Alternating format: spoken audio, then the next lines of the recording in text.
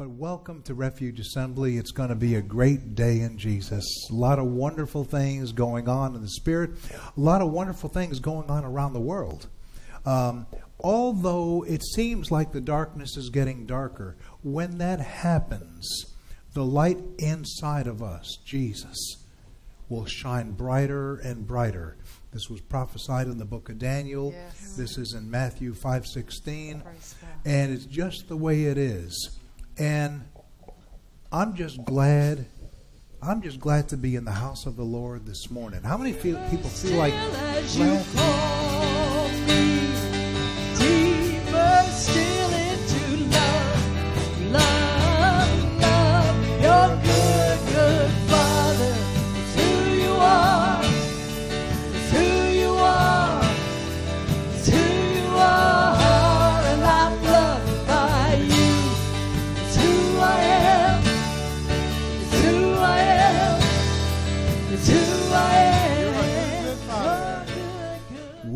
Praying for revival for a while.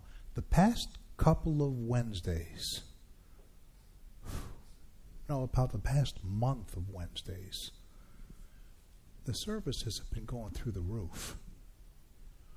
Three or four Wednesdays ago, uh, we had a service. Uh, Dee brought in a healing rooms team, friend of hers from Knoxville, and they came join us on a Wednesday.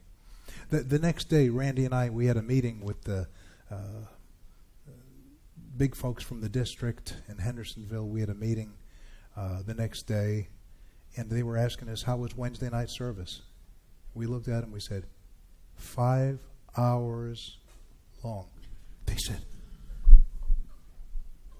"Did you say?" Fi-? I said, five hours long. We had church, and nobody let nobody wanted to leave because there was prophetic miracles, signs, wonders, all kind of things going. So they got interested. What what are you guys doing? I said, well, we're just following Holy Spirit. He's doing the work. So we're just following instructions. So they were like. So then the next Wednesday, something else go, and we stayed. It was great. Last Wednesday, the same thing. All the time we have spent teaching about revival, and then the Lord, of course, gave us that word. Uh, I'll tell you that word in a minute. What what He gave this church a word for us and for others, and we'll go over that in a minute. But matter of fact, no, I'm supposed to say it right now. And when I was seeking the Lord about the word He gave the church a couple of weeks ago, and everybody say, "What word?" Oh, I'm glad you asked. The word was, I like what you've been talking about revival. That was a word from the Lord for this church. I like what you've been talking about revival. I was seated praying about this, and I felt him say right after that, Let me teach you what is needed for real revival and the ingredients that is required for real lasting revival. And I said immediately, Yes, Lord, where shall I turn to in the Word? And I distinctly heard, Just keep reading in Nehemiah. Because last week we spoke on Nehemiah 8 about the joy of the Lord. Let's look at that for just a minute. Let's pray first.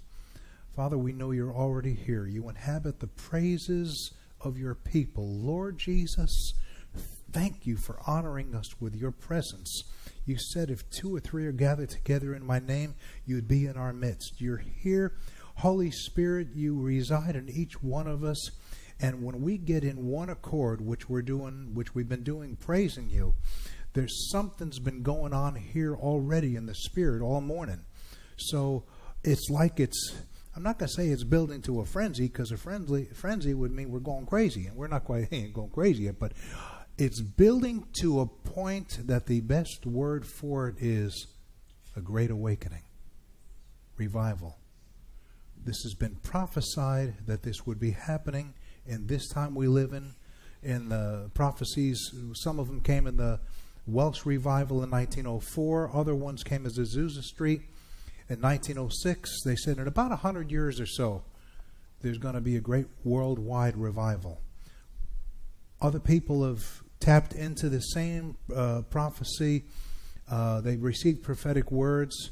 Some of them talked about the revival will start in the southeast United States, but it won't be just in one place. It'll be little fires all over. It's building. Sid Roth has had guests on his show saying the same thing. It's building. Somebody say it's building. So, with what's been going on here, and then the Lord gave us the word, I like what you've been talking about, revival. And He said, Let me teach you what is needed for real revival and the ingredients that's required. Zach, will you pass out those right there? These are the handouts. Marcus, you can take one side of the church. And thank you so much. Appreciate you guys so much. So, last week's message was the joy of the Lord is your strength. Could we say that together? The joy of the Lord is your strength. Now, you know, we use that and we say that scripture often, but we felt led to go behind it and find out why that was said. So I'm just going to reiterate that for just a minute and then we'll go into today's message. Last Sunday we talked about Nehemiah 8 concerning the joy of the Lord is your strength. And what happens was what happened was when the people heard the word of God, understood it and started to mourn, they were told not to mourn by the Levites and the priests, but remember that the joy of the Lord is your strength. What happened was they heard the word of God and they realized when they heard the words out of the book of the law that oops, we blew it. Our forefathers have blew it for a few generations. That's why we're in the mess we are. Let me fast forward to where we are in the world and in the United States in particular right now. Since the early 60s, they started taking God out of the schools. They started taking God out of the government everything from no more Bibles in the school, no more prayer in school time, no more uh, Ten Commandments uh, by the judicial courts or in front of the libraries. Or they started taking God out. And I know the Lord was probably saying, "All right, you want to do things on your own? Haven't you read your history?" And the Bible, uh, the Bible has four different parts in it: history, prophecy, poetry, and biography. There's all four things in there. But the history part, like in Nehemiah, these people were in a fix. The people of Israel had forgotten the Lord, forgotten His word, started doing their own thing. There are certain things that doing your own thing is a good thing because the Lord does not make robots. He made us all individuals. There are certain things He wants us to be ourselves. We, he don't want us to be cookie cutters of anybody else. And the Lord will give you the power to be the best you you could be for His glory. I was supposed to say that this morning.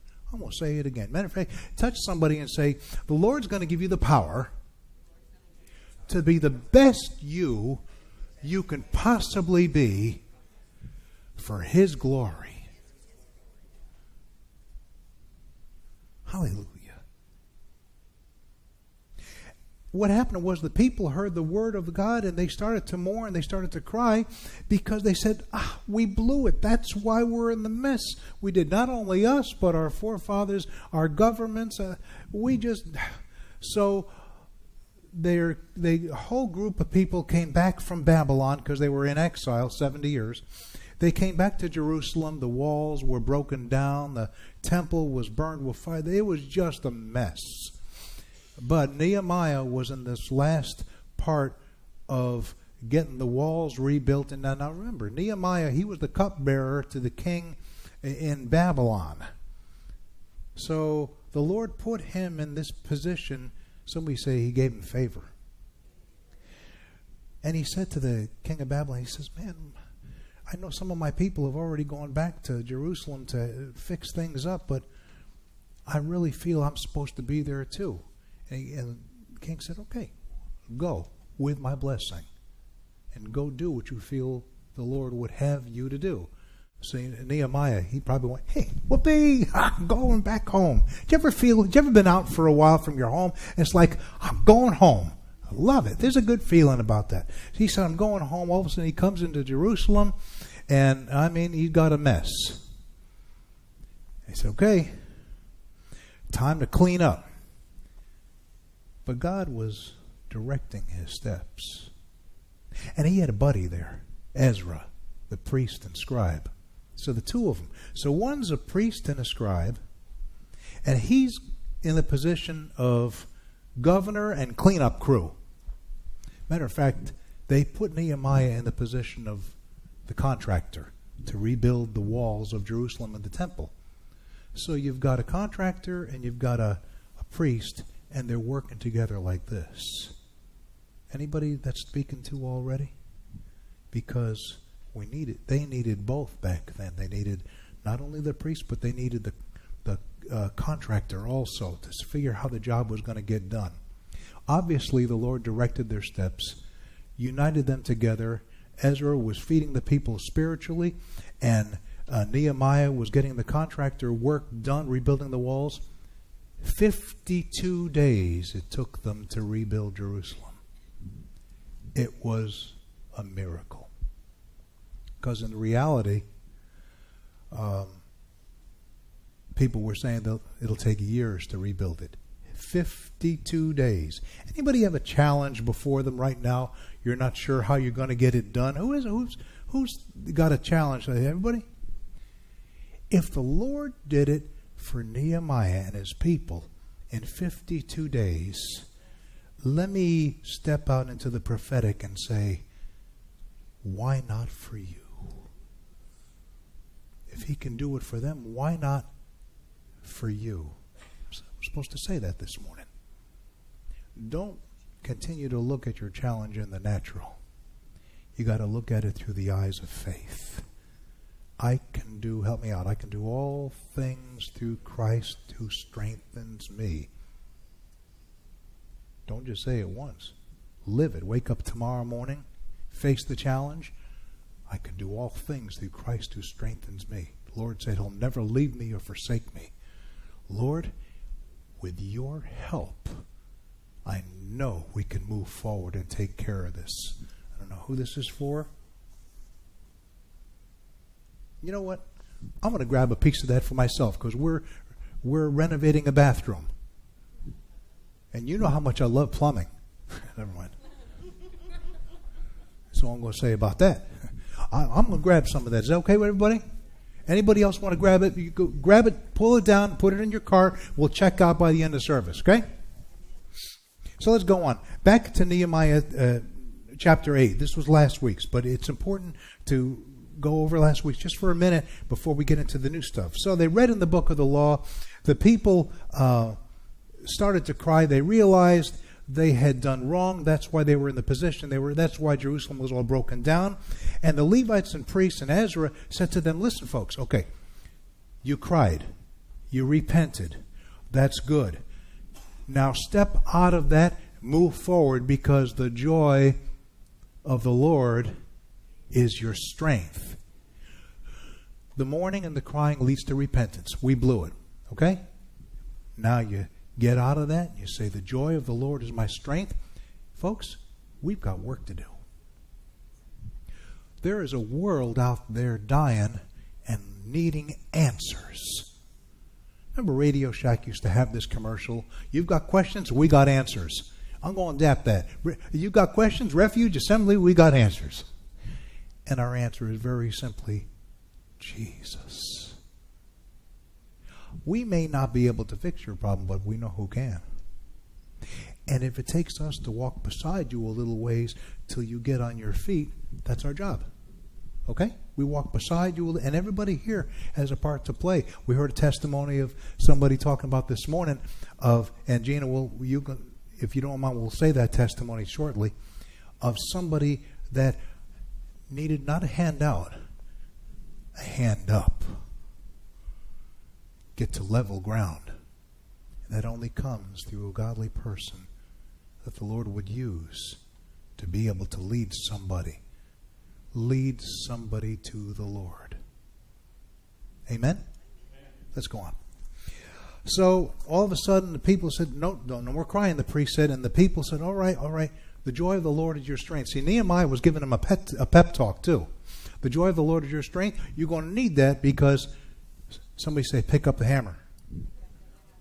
Because they had work to do. We've got work to do. And we can do it. Tap your neighbor say, We can do this. Now, that was last week's. Okay? He said to them, the priest said to them, Go your way, eat the fat, drink the sweet, send send to go cups, uh, to, to go plates, portions unto them to whom nothing is prepared. Not everybody showed up for the meeting that day. Okay? So, say, listen, go home, get with the rest of your family over there. They didn't show up to the meeting, but send them some food as you're preparing it and tell them what God did and why the joy of the Lord is your strength. Here we go. Now's today's message. The title of it is in The Ingredients for Real Lasting Revival. Lord gave me this last week, and I had no idea of what He was going to lead me into it, but I walked into it by faith. Uh, Zach and Marcus just handed out some papers over there. You'll be able to take those with you and pray about these things, but we'll go over these things this morning. Okay? So I'm reading from Nehemiah chapter 9, just verses 1 through 3. Reading out of the King James Version. So if you have in your Bibles and you have a different version, it doesn't make any difference. It's all good. Now, on the 20 and fourth day of the month, the children of Israel were assembled with fasting, sackcloth, and earth upon them. This was, uh, in those days, when you were in deep trouble and you were repenting, they wanted to take it all the way. So they would not wear their regular clothes. They would put on, there's a picture of this coming up, they would put on sackcloth. It just, anybody ever see like a potato sack or an apple? They would put that, up, there it is, right there.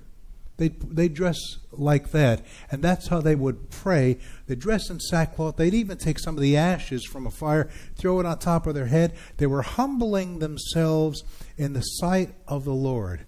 And if my people who are called by my name shall humble themselves and pray and seek my face and turn from their wicked ways, then I will hear from heaven and forgive their sin and heal their land. Do we need that right now? Well, that's where we are. We need that. They needed it then. We need it now. We need this now. Somebody say, if my people that's what we got to do. They, they humble themselves before the Lord. Verse 2 The seed of Israel separated themselves from the strangers and stood. They confessed their sins and the iniquities of their fathers. Verse 3 And they stood up in their place and read in the book of the law of the Lord their God, fourth part of the day, like a, a quarter of the day, just like we did that other Wednesday night. Another fourth they confessed and they worshiped the Lord their God. Verses 1, 2, and 3. In that little handout I gave you, that's a whole bunch of that right there in just verses 1, 2, and 3. As the Lord is showing me this stuff, because, hey, listen, this is bigger than me. Okay? He showed me this. I didn't figure this out myself. He showed me this. I'm just passing on what he showed me. I'm going to give glory where it's due. It's I'm just the messenger. He wrote this. He put this together. So let me read a little more, okay? And you could be kind of glancing at that paper because some of these things, this is what the Lord gave us for the ingredients for real lasting revival. So uh, let me that, get that paper. So they fat they wrong paper. Hold on. So on that piece of paper, the first thing uh, we see in that ingredients for lasting revival, they heard the word, understood it, and started applying it. Somebody say that's a good thing. They heard the word, they understood it, started applying it. We read that in verse one. In matter of fact, we read that from the last week's message. They heard the word, repented. They said, "The joy of the Lord is your strength." They started applying it by building the walls. The second thing is they humbled themselves, repented. started praying for revival. They wanted revival for the whole nation. That's what we need right now. Not, and if it starts here and and just carries on around the world, that's fine. They humbled us to repent. Uh, number three, they separated themselves from any bad influence. Let me just park here for one second.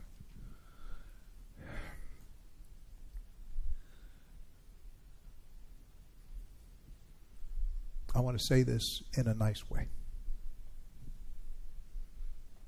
Uh, in verse 2 uh, from Nehemiah, it says, They separated themselves from strangers. I said, Lord, how do you want me to say that? Well, they separated themselves from bad influence because some of the people that were among the Israelis, uh, the Jewish people back then, they had no idea about the laws, about the Word of God, who God was, what they did. So they brought in their theories to compare them against what God was doing. Let me say it another way. How many people have ever been around people that were not good influence on your life? If you hang around them long enough, it'll rub off. So when they separated themselves from these strangers, they had to get away from the bad influence. Amen? I'm not even going to go into stories, but being in the music business for many years, I had to really watch myself because there was a lot of bad influence. Even when we were on the ships together. But if you seek the Lord every day, and you ask Him to lead and guide you according to His perfect will. We're in the world, but we're not of the world. We've been saved, See, He's called us out of the world, but we still live here. But after a while, you get to be an overcomer. And then you could go into the world with the idea of if I have to see these people, I'm going to see them with a different attitude. I want them saved. It's, it's actually a missionary journey. And that's what the Lord did with us on the cruise ships for many years. But the bad influence, He won't let you continue among people of bad influence until you become an overcomer. When you become an overcomer, then He'll allow you to go back in. Reach in, pull them out of the fire. We'll be talking, well, Gene will be talking about that in a few minutes. Let's look at number four. They confessed their iniquities and those of their ancestors. Thus, help me out. This is a very important thing. They break in generational curses. We do deliverance at this church. For those online, we do we have a deliverance ministry at this church. Generational curses, I don't care who told you what, they are real. It is in the Bible. The sins of the fathers goes down through many generations until it's broken.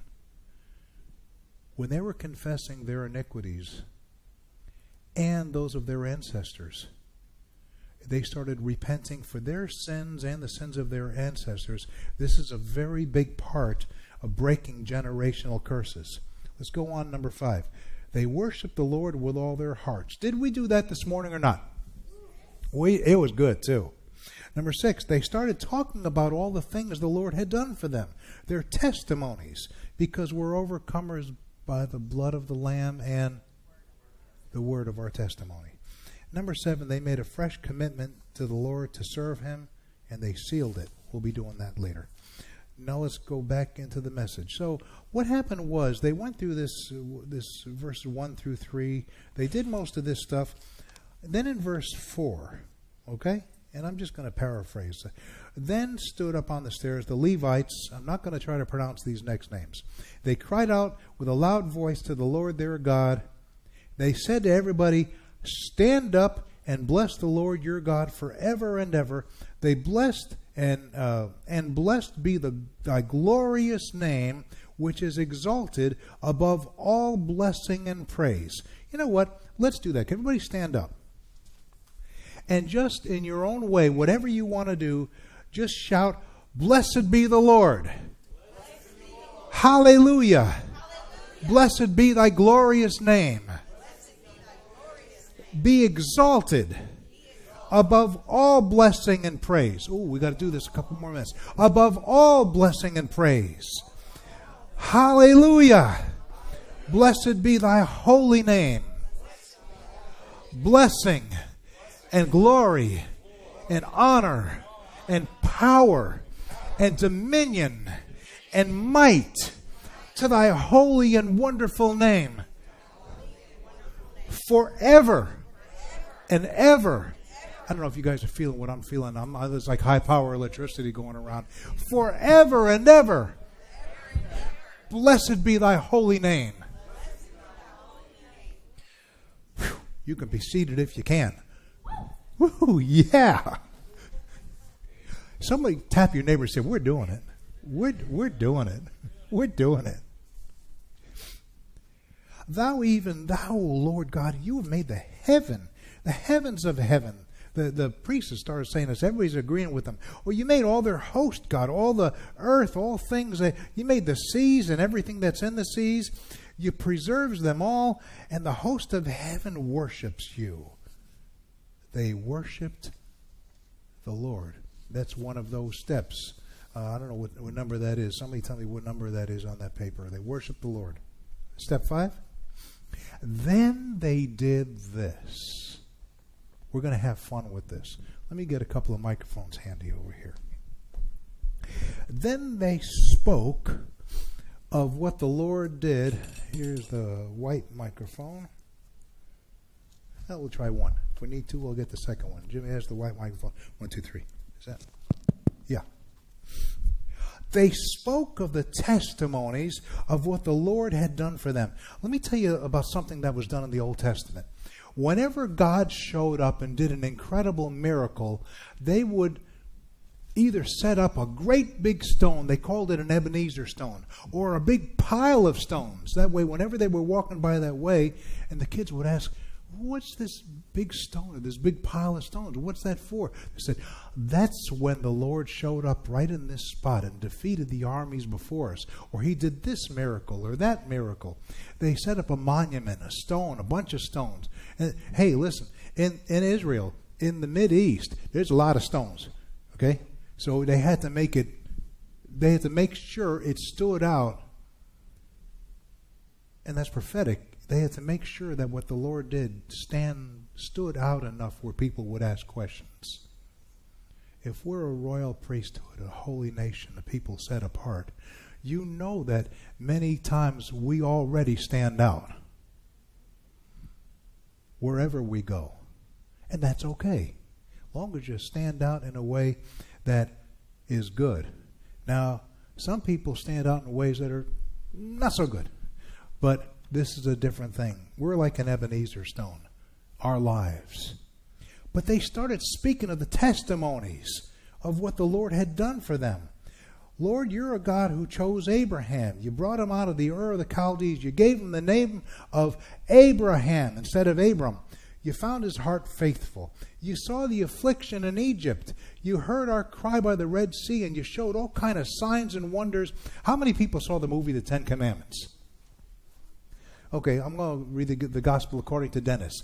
Well, the Lord got angry and he went in there and he kicked butt. Okay, let's just say he he showed out. This is the way we do it in the South. He showed out. Aren't you glad he did? Aren't you glad he's still showing out? He's going to show out some more today. You know that, right? Hallelujah he showed these signs to Pharaoh, all his servants, and all the people of the land, even the, the, the priests of the Pharaoh. They were different religion. They said, Pharaoh, we known troubled times and war, but nothing like this. This is this God of uh, of the Jews, this God of Abraham. Isaac. We can't we can't do these things. They were magicians. They everything was deceitful. Everything was uh, cheap imitations. And that's what the devil does sometimes. Matter of fact, pretty much all the time. He has cheap imitations of what godly things are. The gifts of the Spirit. We have the word of knowledge, word of wisdom, prophecy. And he has his what they call psychics. Okay?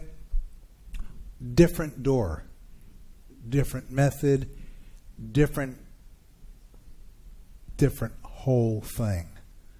Dennis, how do you know that? Because I've done enough studying over the years, and I was involved in the occult years ago before it was even used the name occult. It was New Age. It was even before that.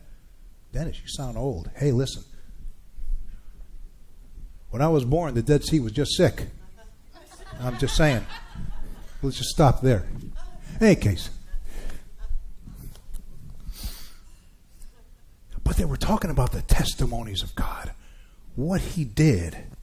And instead of me going out and continue reading the testimonies, we have some testimonies in the house because God is still doing miracles. We were talking about the one we were just talking about right now was was how the Lord when he when you become an overcomer he'll set you when he's confident in you when you're confident in him he will send you back in to a place where you've been that would have been dangerous to you years ago but because you've become an overcomer now you're going in like a missionary trip. Gina, could you talk a little bit about what you told us in the prayer room this morning, what the Lord did this past couple of days? So, and just face the camera right over there. Um, I was just sharing this morning um, that I had an opportunity yesterday. Um, I had to go to a baby shower, and, and so on my way, I picked Jasmine up. And I don't even live in this town anymore. It's the town that I lived in when I was a, a, addicted to pain pills for 12 years. Um, and just when I lived there, everywhere that I turned, drugs were there, and I knew that, and it was just easily like accessible. And um, so, testimony in that is that God pulled me out of there. Um, he set me free, delivered me from drugs. He's healed me. Um, we moved to Dayton. He he placed us in Dayton, and so we just got out of that area, and um, so I was on my way to pick Jasmine up in Decatur, and um, the Lord told me uh, there, there was um, a family over there that um, literally is in the darkness that I was in. And um, used to go to their house all the time, and, and we come to love them as people. And so the Lord told me on the way over there, He said, I want you to stop by there after you pick Jasmine up, and I want you to release the life of God over them. And um, he told me specifically to, to, to you know to, to, mention to them that they needed to repent there needed to be repentance and forgiveness and so um, i went and picked jasmine up and um, i stopped by um, over there when i because she doesn't live far from them and um, so i had found out that he has, he has cancer and he's had cancer for a little over three years and didn't tell anybody like his, his wife knew um, but they didn't share that with a lot of people, and it wasn't until recently that people started finding out that they that he has cancer. And so, what I, it was just so sad because when I pulled up on the property, as soon as I got out, I could just I felt the spirit of death there. And um, when I looked at him and his wife, they just didn't look well, and um, it broke my heart. because somebody that was in that darkness knows what it feels like. You know the desperation and you don't have any hope. But I'm so grateful for the opportunity. I'm grateful that I'm an overcomer and that God was able to send me back into that darkness to bring his marvelous light onto their property. Because when I went over there and I began to pray for them because he just he allowed me the liberty to do what God told me to do and and he was very receptive him and his wife both they just wept. I mean, they just, they wept. And um, I prayed over them and I told them about the forgiveness thing that God told me to tell them repentance and forgiveness. And they just sobbed the entire time. The whole time I was there, I was there for an hour. And the, the, the husband, um, the one with cancer, just, he cried the entire time. And I was just so grateful for that because it just showed me that they were open and God was moving.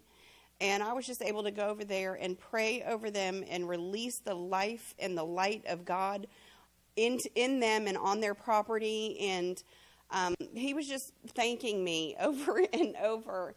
And I, I left there and I was like, God, you are so good.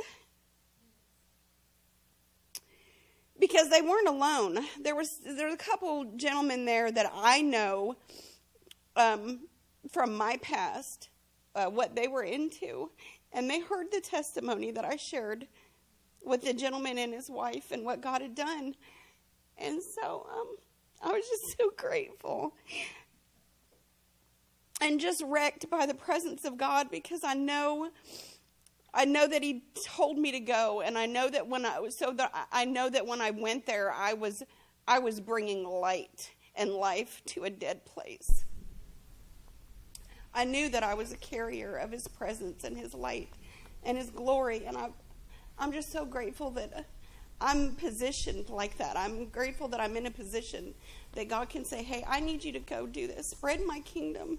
Isn't that what it's about? Love my people. And so I praise God for his goodness, for his faithfulness, his mercy, his grace, um, just for being my source, my everything, my strength and that I'm able to go and He tells me to and leads me. I'm able to go and release that to people that are broken and hurting and dying and desperate and they have no hope. So I praise God. Hallelujah. Somebody say, Thank you, Lord Jesus. See, when you when you become an overcomer, the thing that could have taken her out years ago made her and almost did made her an overcomer.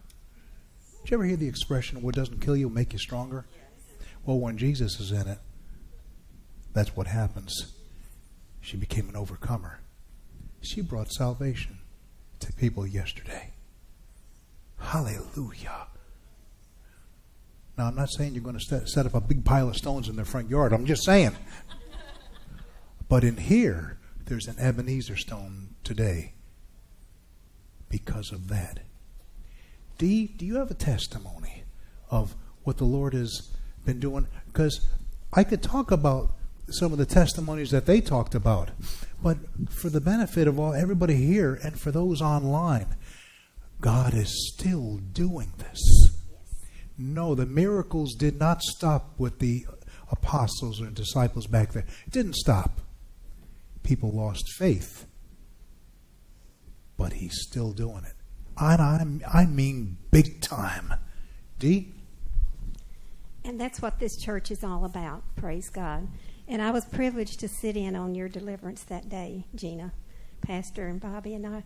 And it's a beautiful thing that has happened in her life. And we just praise the Lord for you and your family. And, you know, I was looking for a church and um, didn't know where to begin because I had just moved to this area. And the Lord put it in my heart to just come here. And so um, I didn't know. My husband had pastored in the assembly years ago.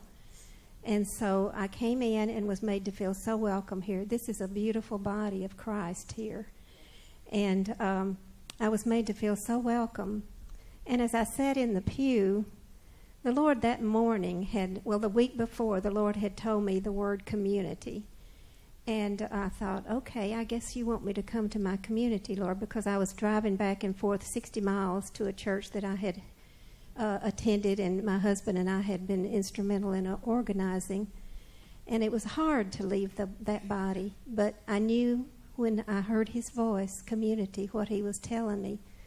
So I came that morning, and I was as I was sitting here, I looked, and here was a book that I thought was a songbook. But when I took it out, it said Saudi Community Chapel. I said, okay, Lord, I know you're talking to me here. So after Pastor finished, well, I don't even think you had finished your sermon. I think you were just ministering. And he walked down the aisle and stood there and he said, May I give you a word? And he told me everything that was concerning me. And then he said, The Lord has more for you. There's going to be more for you. And you know what? I'm living out that more today.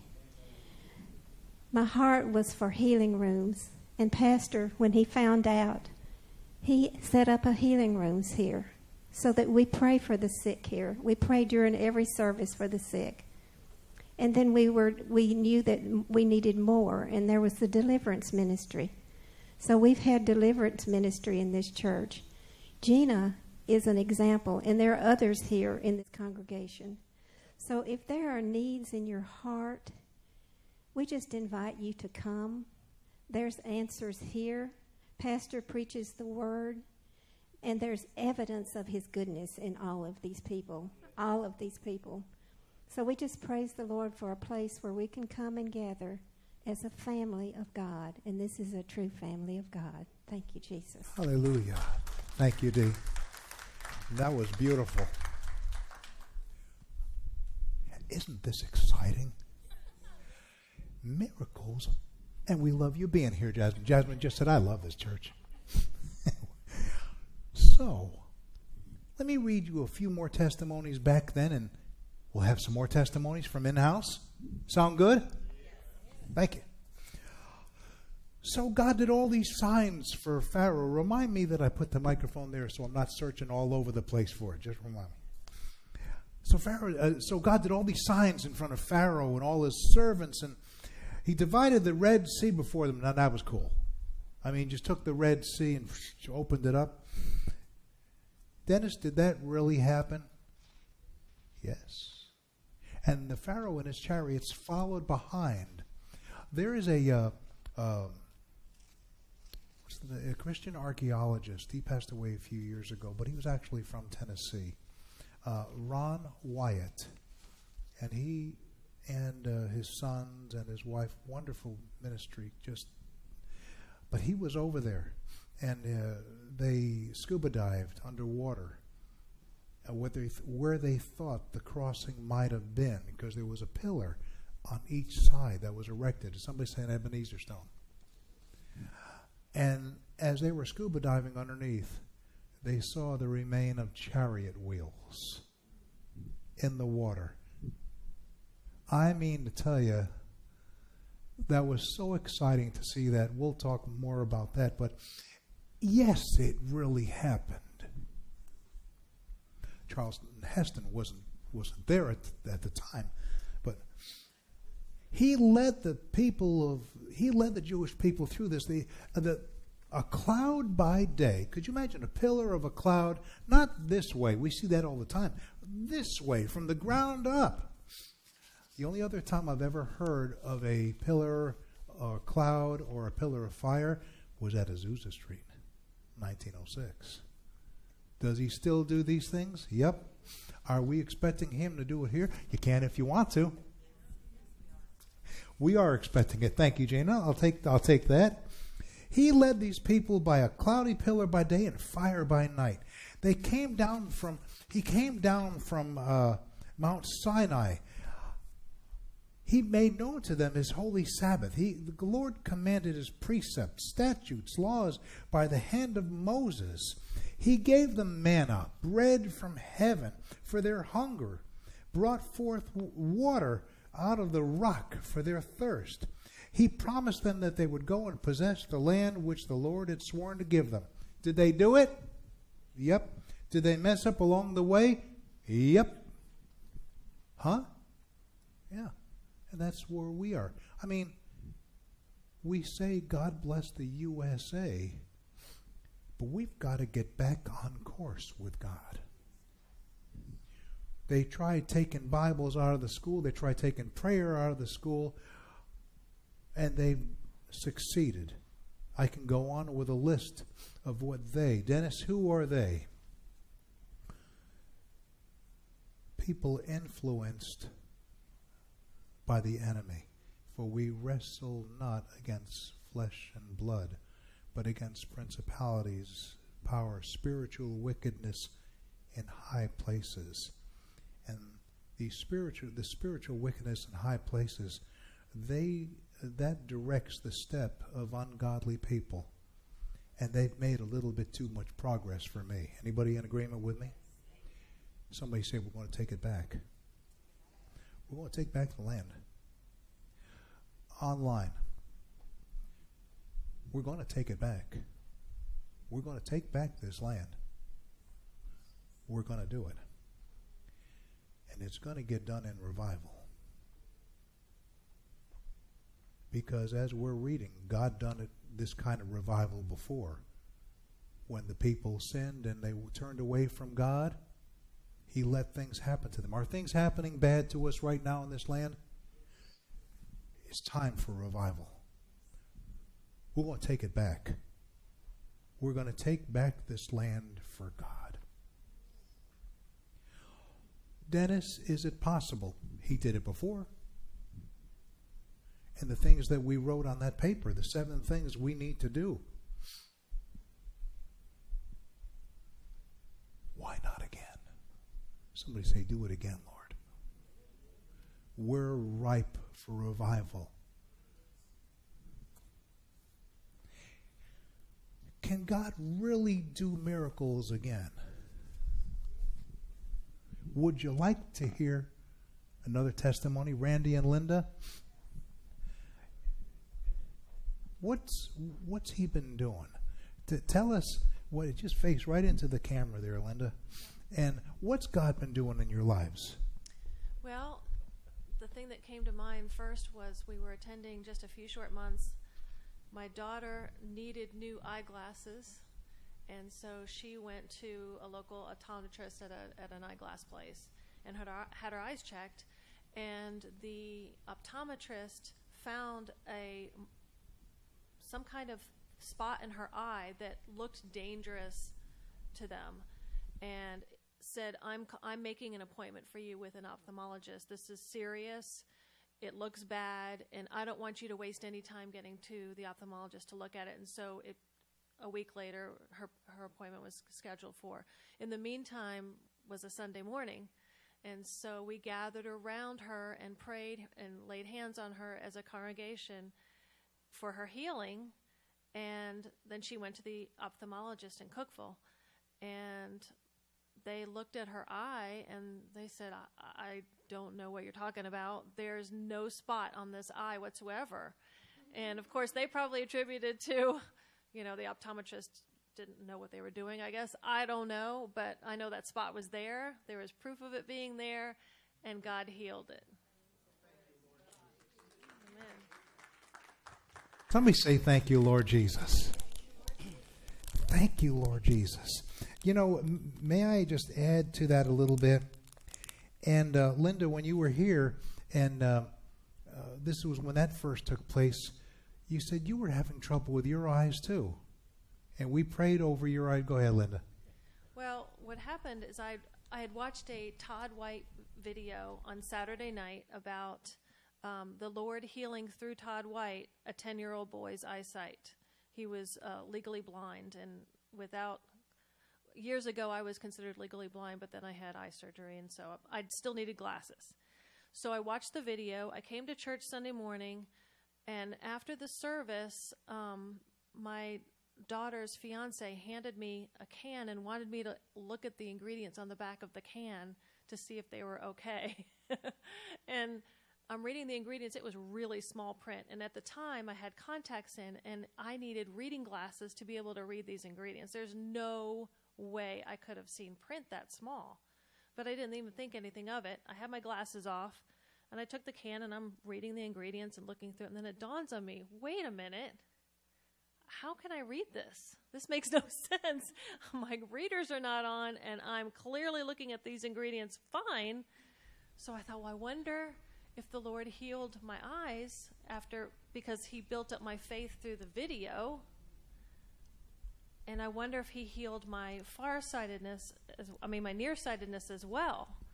So I couldn't wait. We went to lunch together as a church, and then I got home and got my contact case, and I sat in the living room and I said, Okay, Lord, this is it because I'm taking these out.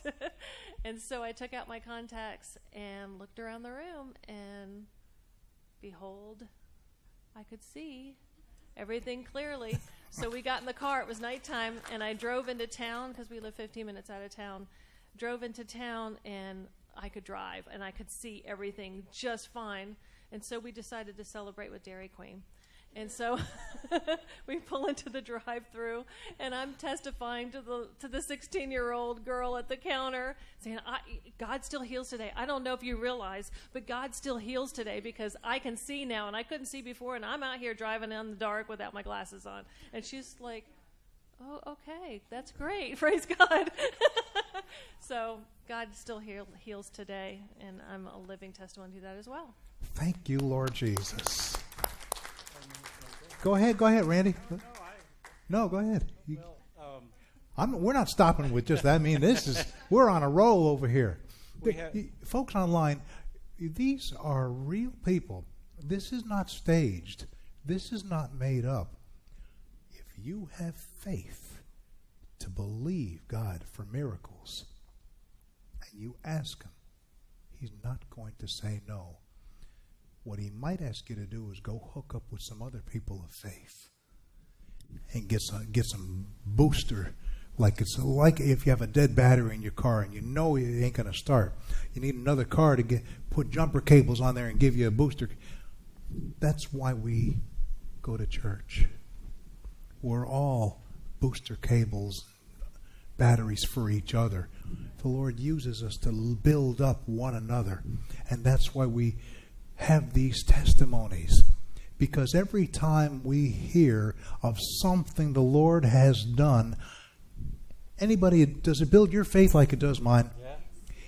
And when our faith jumps levels to get to the point where we just believe God to be God and do anything He wants to do. And He says, if you delight yourself in me, I'll give you the desires of your heart. How many people have some of the de- desires in their heart?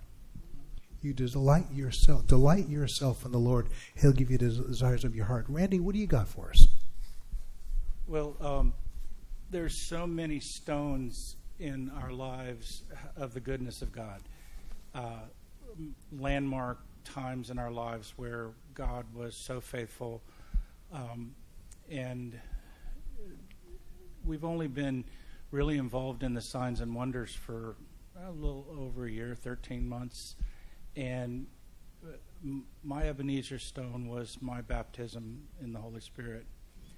Um, it was the most not only remarkable experience, but the benefit and the abundant life that the Scripture says we have when when we take back what the uh, thief steals and and tries to to kill and destroy the abundant life. Um, the Word of God became alive in a different way for me when I understood how how the Holy Spirit is not only a comforter and not only a, a guide, but a teacher and a revealer, and uh, that's something that's very important to me over my whole life. I, I wanted to to teach God's word. I wanted to pastor. I wanted to preach. Uh, the opportunities never arose, um, and after the baptism of the Holy Spirit, it was never more clear that I needed to pursue that uh, more. And as I learned to hear from God, and I and I actually talk less and listen more, I uh, I have a, had a problem talking too much my whole life.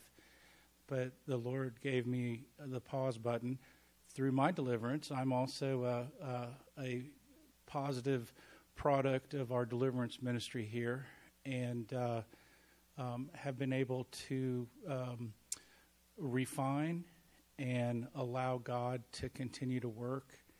And I hope in that He gives me many, many more years of of this type of abundant joy and and and. and 2020 was a horrible year for a lot of people, but it was life changing in such a positive way for me. And and um, there's just such such joy that I can't even describe it. God, Hallelujah. Hallelujah. Thank you, Lord Jesus.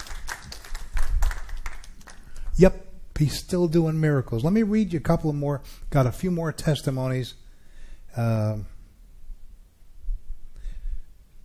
this is interesting. So I'm still reading out of Nehemiah, chapter 9. Let me read you something in verse 20.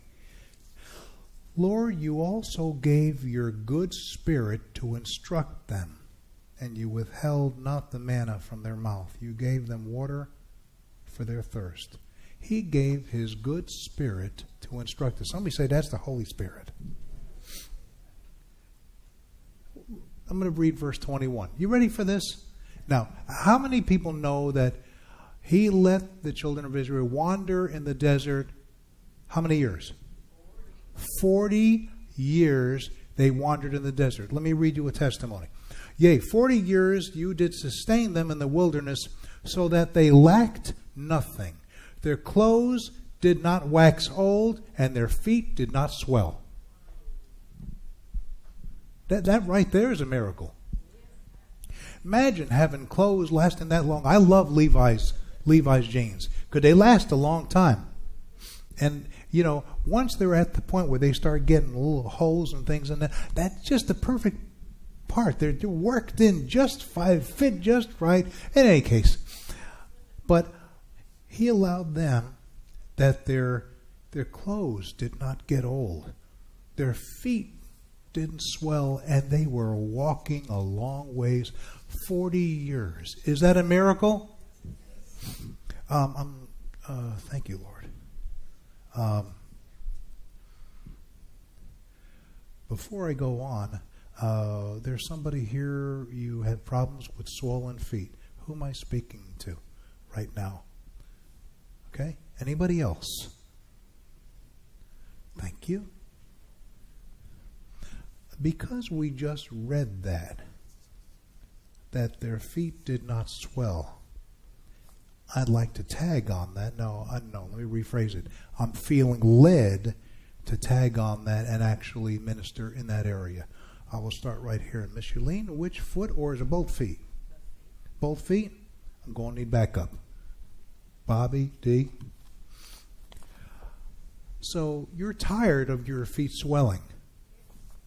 And here it says he he anointed them, their feet didn't swell for 40 years. Micheline, I don't know how long your feet has been swelling, but from this day on, that swelling will cease. Who agrees with me that God can do this? Okay? I'm going to get right down there. You guys getting back up? I'm going to just touch your feet right there, and I'm going to actually speak to her feet. Everybody learning, when you're learning how to pray for people, you don't pray the problem. Jesus never prayed the problem. You always pray the answer. And he said, Speak to your mountains. So I'm going to speak to the mountain of swelling in your feet. I'm going to speak directly to your feet. We're speaking to the mountain. Here we go. In the name of the Lord Jesus Christ, the word says, These signs shall follow them that believe. They will lay hands on the sick, and the sick shall recover.